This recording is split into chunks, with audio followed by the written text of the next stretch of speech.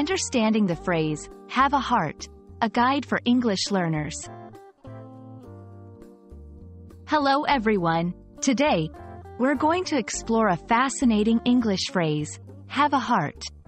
This expression is commonly used in everyday conversations, and understanding it can greatly enhance your English communication skills. Let's dive in and uncover the meaning and usage of have a heart.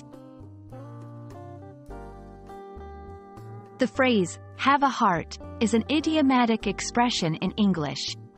It is used to ask someone to be compassionate, considerate, or sympathetic in a situation. Typically, it's employed when someone is being too harsh or unfair, and you want them to show more kindness or understanding. It's like saying, please be more compassionate. Origins. The exact origins of have a heart are somewhat unclear, but it has been a part of English vernacular for many years. It draws on the symbolic association of the heart with emotions and empathy. Usage. You might use have a heart in various situations.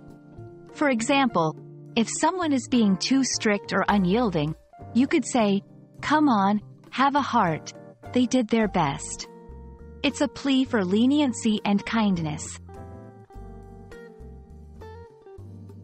To better understand how to use have a heart, let's look at some examples.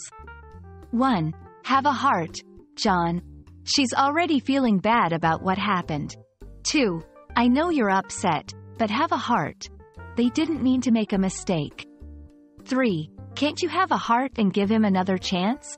These sentences show the phrase in action, appealing to someone's better nature in different scenarios. I hope this video has helped clarify the meaning and use of have a heart. Remember, it's all about asking for empathy and understanding in various situations. It's a handy phrase to have in your English language toolkit, especially when dealing with emotional or sensitive topics. Keep practicing, and see you in the next lesson.